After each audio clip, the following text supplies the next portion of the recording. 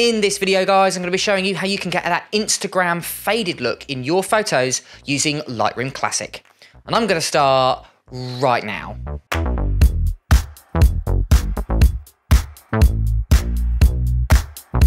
Right guys, so the first thing you want to do is go ahead and choose a photo. Now this particular effect works pretty much with any photo. You've got a landscape photo, portrait, urban, cityscape, to be honest, go wild with this because this effect works well with pretty much anything. It's a really nice effect that I like applying. So I've gone ahead and chosen this photo here. And as you can see, it's a really nice photo of a girl and it's got highlights, shadows, midtones. As you can see, pretty much the histogram is full there, which is really nice. So to create this effect, firstly, you want to go down to the basics panel.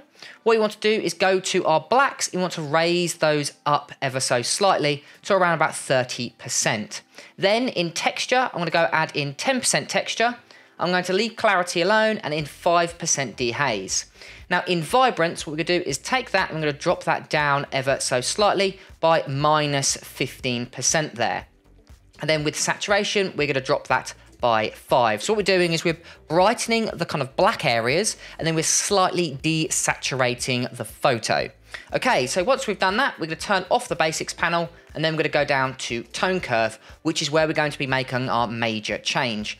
Now, making sure we've got point curve selected, so that's this section here, making sure we haven't got this one selected. This is our parametric curve. We don't want that. We want our point curve. Now, inside our point curve, we want to take the black section, which is the far left-hand side here, this little icon, and we're going to bring that up to around about here, let's say. So an output of, let's say, 60. So we want to have an input of 0 and an output of 60. Then what we want to do is take the shadows and we're going to bring those down to almost the same level here. So we've got this kind of S kind of curve. And then what we're going to do is take the midtones and highlights and we're going to bring those back up again, adding back in that contrast we've just lost.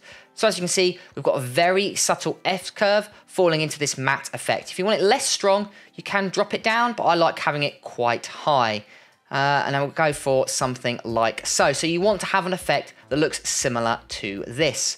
What we're to do is turn off that, and the last thing we're to do is we're to go down to our effects here. We're to go to our post-cropping vignette, and we're going to add in an ever so slight vignette to this particular effect. So we can go for minus 10 there.